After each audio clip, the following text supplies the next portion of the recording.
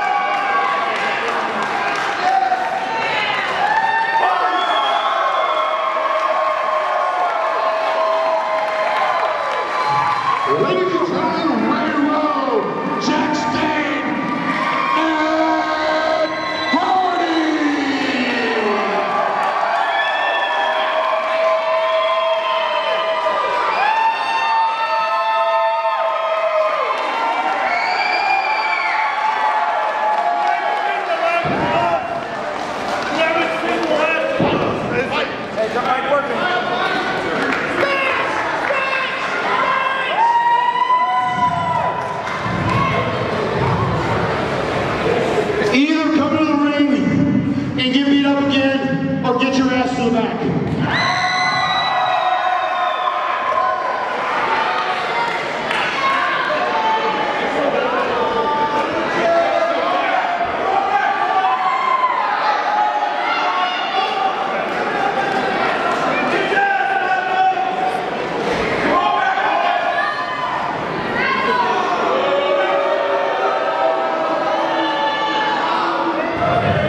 Thank you to everyone who came out here in San Antonio tonight.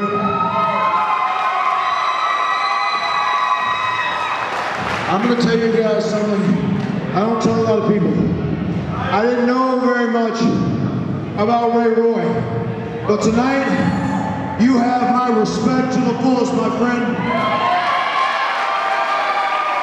You got a bright future, and you're one tough SOB, and I'm sure these people in San Antonio are proud to call you their own.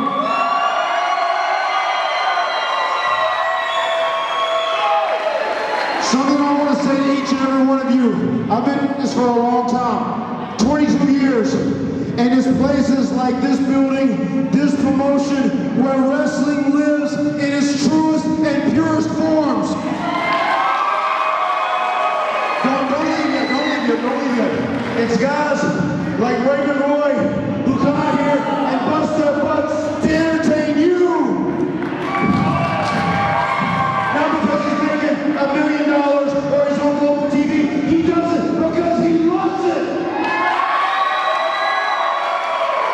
And you